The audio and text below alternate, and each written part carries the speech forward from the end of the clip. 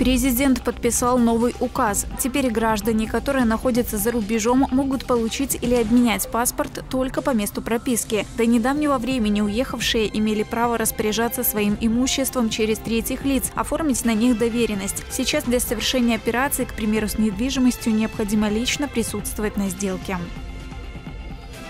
Республиканская акция «Символ единства» стартует 7 сентября в Дзержинске. До 16 числа участники будут посещать различные регионы страны, от Могилева до Барановичей. В программе автопробеги, концерты, диалоговые площадки. Такой формат встреч поможет найти ответы на волнующие вопросы. Сам День народного единства белорусы отметят 17 сентября.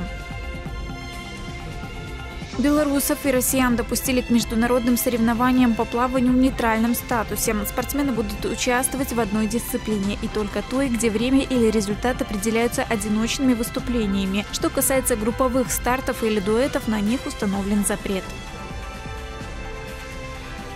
Карты некоторых белорусских банков временно могут не работать в ночь на 9 сентября с 3.20 до 4.00. Это связано с технической проверкой и заменой оборудования. Возможны перерывы и в обслуживании. Снять наличные или рассчитаться в магазине кредиткой в это время будет невозможно. В женском монастыре Бобруйска состоится крестный ход к Александро-Невскому собору. Начало 12 сентября в 17.30. Православная церковь чтит память святого благоверного князя. В этот день в 1721 его мощи перенесли в Санкт-Петербург из Владимира.